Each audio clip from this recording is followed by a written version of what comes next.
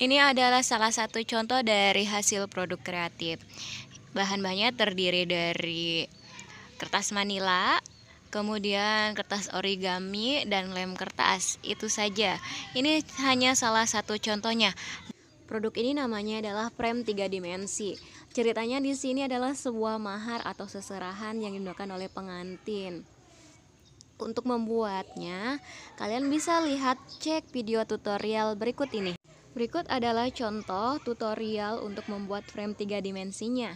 Kalian bisa cek di YouTube-nya yaitu tutorial wow atau bisa kalian cari sendiri di YouTube-YouTube untuk membuat frame tiga dimensi dari kertas. Untuk membuat bunga kertasnya silahkan kalian juga cek di YouTube-YouTube. Nah, gambar ini adalah contoh dari referensi membuat mahar. Atau bisa kalian juga seperti ini juga bagus, cakep terserah kalian imajinasi seperti apa? Atau contoh yang lainnya adalah seperti ini.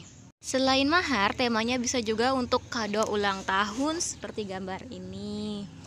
Uh, kado untuk orang-orang spesial teman atau seperti ini juga untuk keluarga. Bisa juga seperti ini untuk yang ulang tahun temennya. Silahkan terserah kalian